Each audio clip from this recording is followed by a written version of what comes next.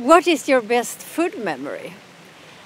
People often tell that they have been out walking for a long time, they have been in the mountains, they have been in the desert, and when they finally got food, it tasted fantastic. Why?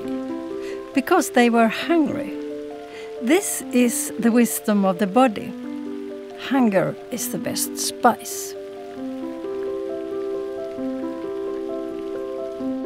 Through 99% of human evolution, we have been in a state of permanent hunger. But today, we see a global obesity and it is spreading fast. We overeat, we eat often, and we eat too much sweet, salt, and fat.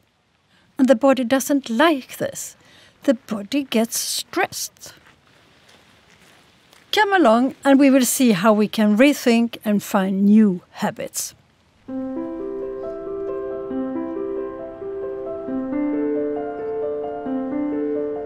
All vegetables are full of colors.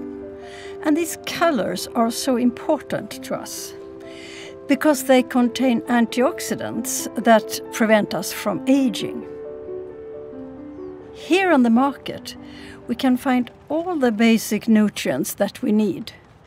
Carbohydrate in fruit, berries and vegetables, proteins in certain vegetables like beans, and fat in other vegetables like avocado. I suggest we eat three colors a day.